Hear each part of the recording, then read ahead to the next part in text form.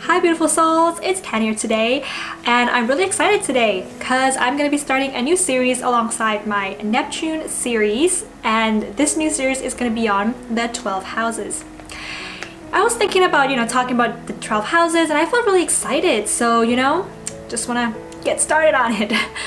um, yeah, so I actually got inspired to do this series from a very popular um, YouTube astrologer YouTuber out there and her channel's name is Hannah's Elsewhere. So I'm pretty sure that most of you would kind of know her because she's very popular. So shout out to Hannah. yeah, so the way that she did this um, series was that she actually talked about um, her experiences of each of her houses, all right?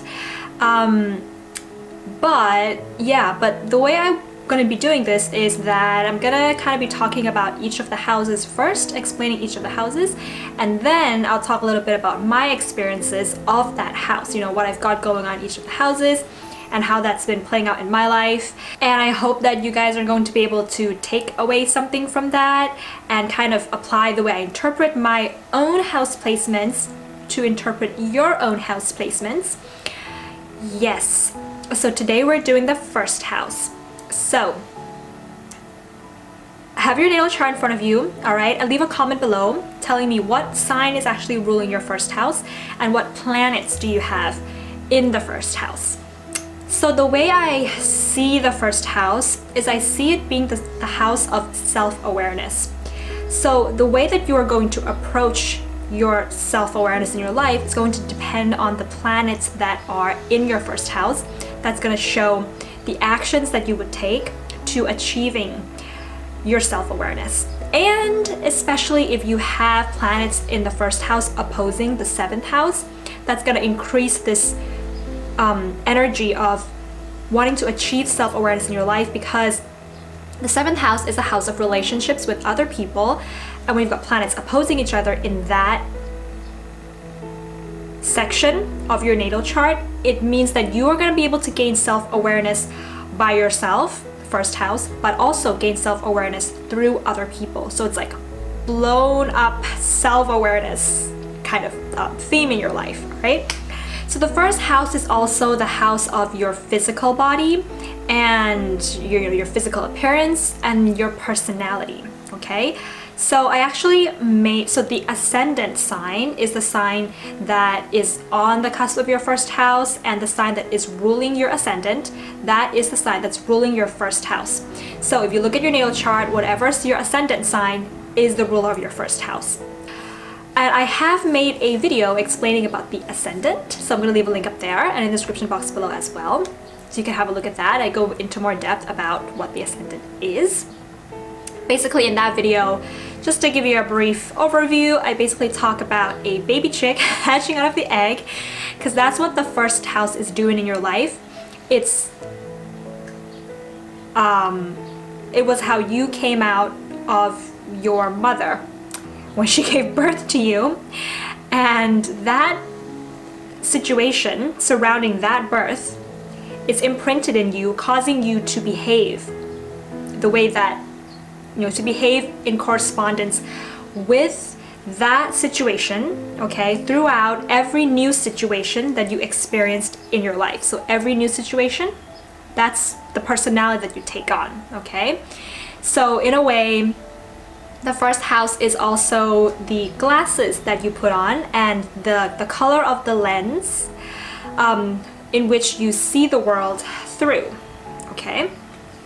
So if you have any planets conjunct your ascendant, which means they should be within 10 degrees of your ascendant, that's gonna show you the situation at the moment of your birth, how you came out, okay? And planets in the first house and the sign on your ascendant is very easily seen by people in the world and it's also very easy for you to access those energies and become aware of those energies.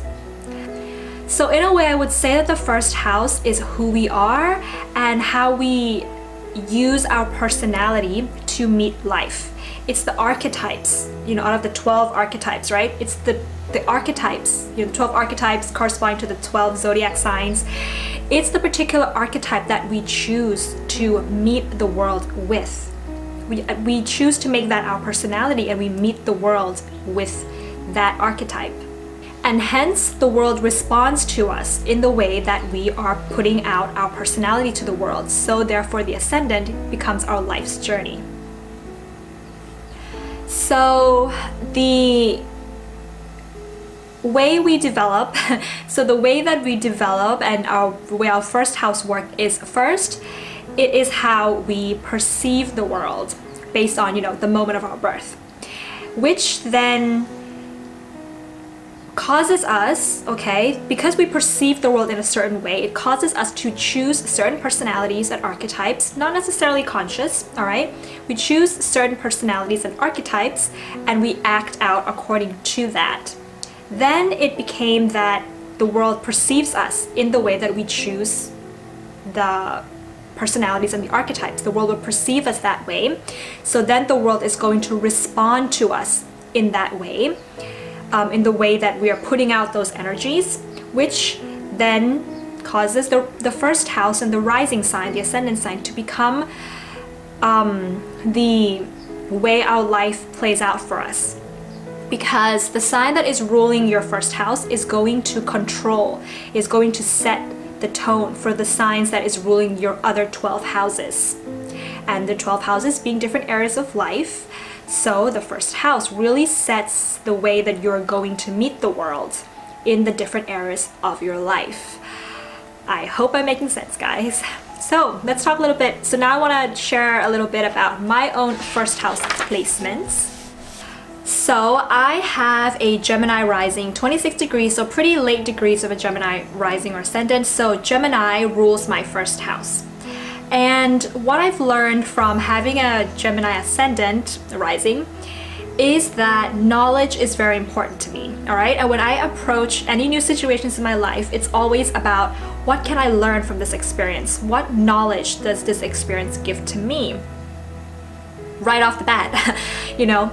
Um, during the first kind of part of my life when I was younger, these knowledge that I wanted was a little bit more superficial, all right? Gotta be honest here, I can be a little bit superficial um, in a sense that I just wanted, you know, to be pleasing to people. That Geminis can be a little bit like that. So the knowledge that I gained was very limited because I didn't want to, you know, um, take a risk in asking questions or gathering information that would cause unpleasant situations. But as I grew throughout my life, um, I'm more willing to take risk to gather knowledge that might be a bit controversial or that would maybe challenge society society a little bit the way that society thinks a little bit because I really want to figure out you know what is the truth behind certain situations what is the authenticity behind certain situations so yeah, this Gemini rising makes me curious in that sense. And um, when you're looking at your first house, the sign that rules your first house, you want to see the ruling planet of that sign and which house it's placed in, because that would tell you more about your rising sign. So Gemini rules, Mercury rules Gemini, so then I would look to see where Mercury is placed in my chart. And Mercury is in my 12th house, which is the house of, you know, otherworldliness, the house of spirituality, the house of um, just confusion, but also the house of timelessness and boundless possibilities. So when I approach new situations, yes, there is this knowledge that I want to gain from people, but at the same time, you know, I somehow managed to make ex the experiences in my life become a spiritual learning experience for some reason. Um, yeah, because Mercury is placed in the 12th house, obviously. So, you know, it, it doesn't really... I can be quite impersonal in a sense that I can just go into an experience just to learn something spiritual from it and then just remove myself from the situation because I've learned, you know, I've gained what I need to, I've gained the knowledge that I need to gain from that experience.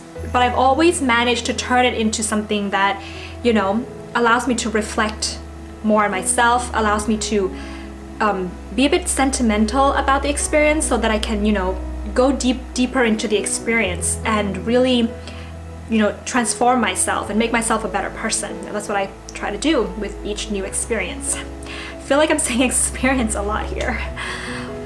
Yeah, that's what it is. That's what the rising sign is. How you experience things.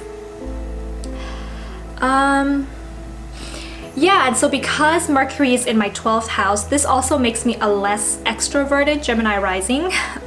All right, so I'm not really like going to be very, I can be outgoing, but I'm an introvert. I'm a Gemini rising introvert.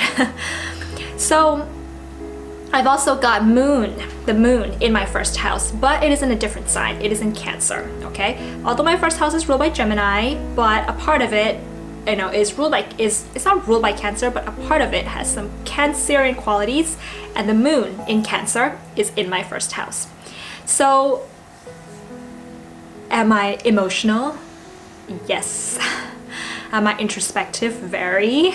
Um, am i moody not gonna lie can be moody am i intuitive about things i can be intuitive about things um so with having the moon in the house of the physical body, right? The first house is the physical body.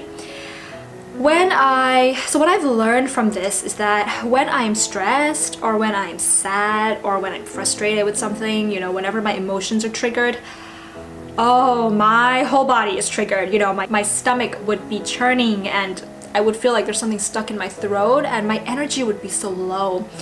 It's like there's a thunderstorm going on inside my body. So when my emotions are triggered, there's a thunderstorm going inside, you know.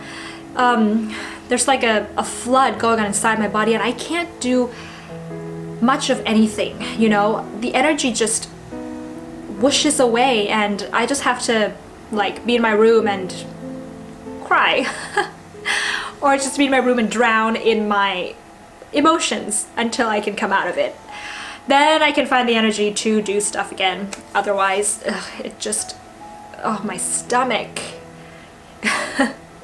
yeah, so with having a moon in the first house, this receptivity, this intuition can sometimes be a double-edged sword in a sense that sometimes I am too receptive to the point where I can be with somebody and if they're feeling bad or if they're feeling happy, you know, I'm feeling bad and I'm feeling happy and I don't know if it's you or if it's me. I just feel what you feel.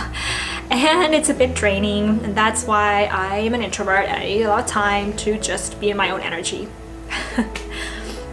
the other thing about having the moon here is also that I can also be very affected by the phases of the moon and I know this sounds a little cuckoo but it's true you know nearer to the new moon or the full moon which happens about you know twice a month there'll be one new moon and one full moon twice a month uh, once a month there'll be one new moon and one full moon every month.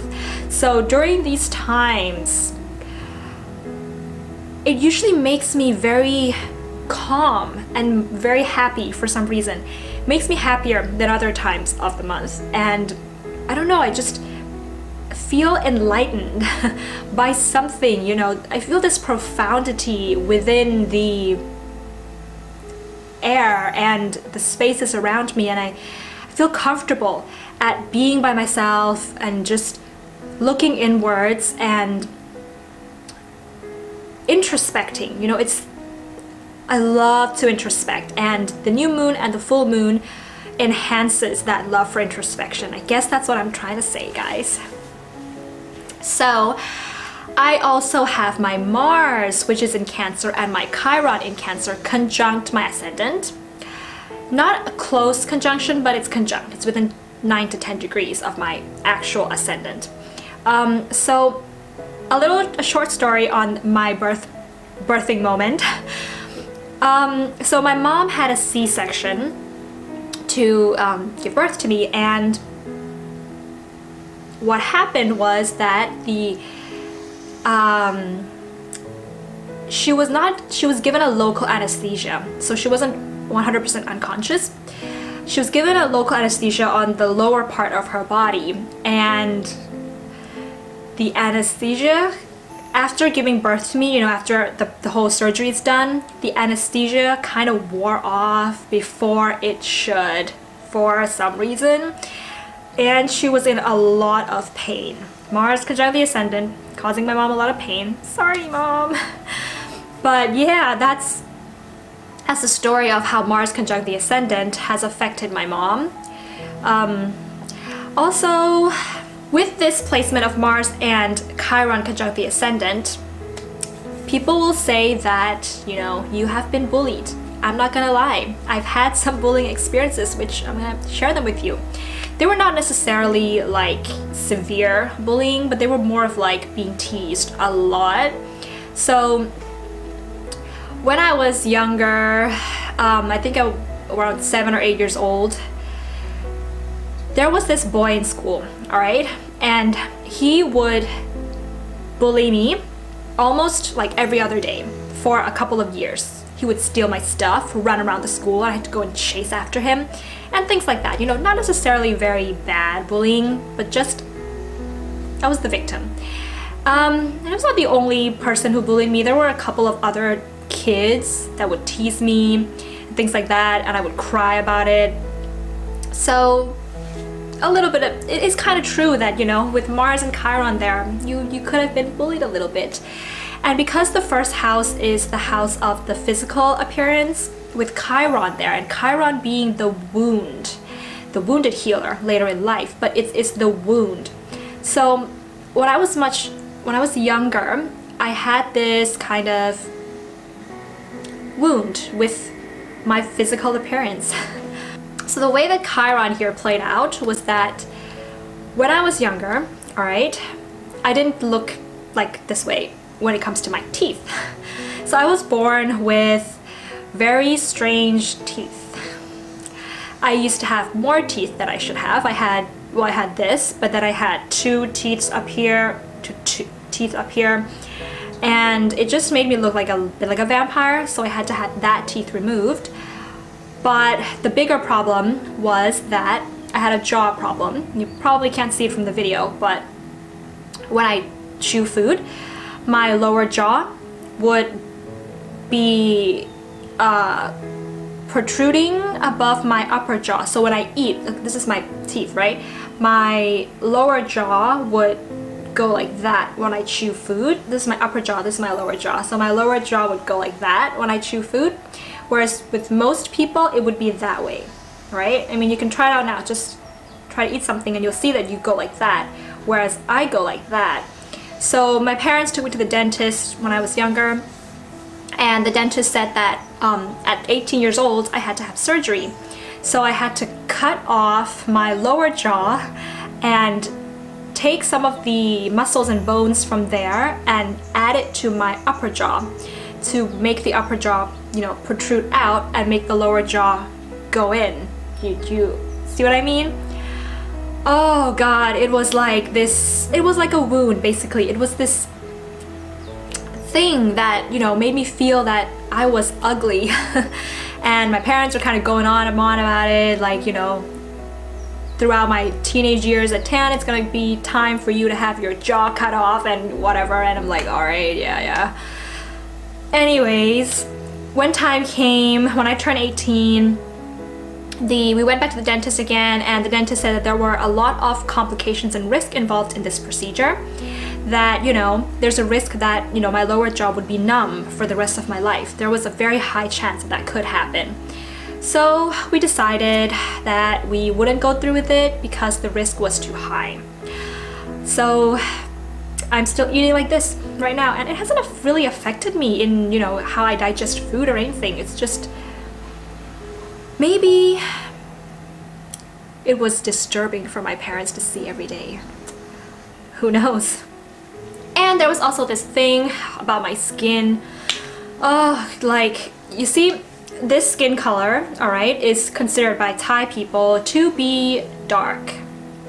Darker than what you see on TV and darker than a lot of other people. So I was teased a lot about having dark skin. My friends would give me names and things. But, you know, having Mars here, opposite Uranus, don't really care. I eventually got over it, alright? Obviously, But when I was much younger, I really thought that I was ugly. You know, I had this thing in my head where it's kind of like, ugh, I'm just not beautiful, I'm just ugly, I'm just, I have all these flaws in my physical appearance, blah, blah, blah, blah, blah. But what really changed was when I started to travel and I started going abroad. And what I found out through these experiences was that the beauty standard is so different around the world, you know, and although I may be ugly, in Thailand, I was never perceived as being ugly in other countries, in any other countries around the world. So I was actually quite surprised by this, you know. Obviously, I was traveling for other reasons, like work and stuff like that. But, you know, what came with it was like my colleagues saying, oh, like, do you, um, did you talk to that beautiful Thai teacher? Or did you talk to that beautiful new teacher? And my students would be like, oh, teacher, you're so beautiful and things. And I'd be like, you know, pretty shocked and pretty surprised. And I think in a way, you know, that made me see things a little differently about what beauty actually is. And it made me realize that I would never ever judge anyone for anything for the way that they look. Never ever. And nobody should ever judge anybody for the way that they look because they can't change that because that's the way they were born. Oh, okay, and the last thing that I want to talk about with Mars being in this first house, oh, there's so much to say, guys, is that my personality can be a little overwhelming for people. Not gonna lie. I mean, obviously, most of the time it can be a little calm and stuff because I am a Taurus. But with Mars here, when I get excited and when I want to say something, when I have an opinion about something, I can be a little overwhelming. Which I know that I probably have to tone down a little bit, but sometimes I just don't want to. Mars opposite Uranus. Um, anyways, yeah, what I find is that I tend to get along more better with people who have a lot of fire and air in their chart because I don't entirely dominate those people. You know, we can kind of get along.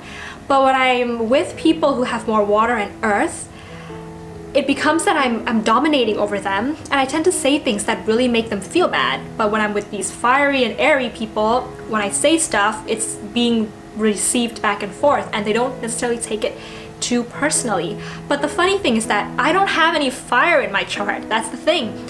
I'm all water, earth, and air. So I should actually get along better with people who have earth and water. But, you know, that's my take on the first house and my experiences of my first house placements. Of course, I would love to know what you've got going on in your first house because I love this house. You know, I'm all about self-awareness, guys. That's why we have this channel so that we can be more self-aware and have better relationships with other people when we're more self-aware. So please leave a comment below what your rising sign is, what planets do you have in your first house, and what have been your experiences with those placements. And if you haven't yet subscribed to the channel, please click the red subscribe button below. If you like this video, please give it a thumbs up. And if you're already subscribed, then thank you very much for watching this video. and I will see you very soon, guys. Bye bye!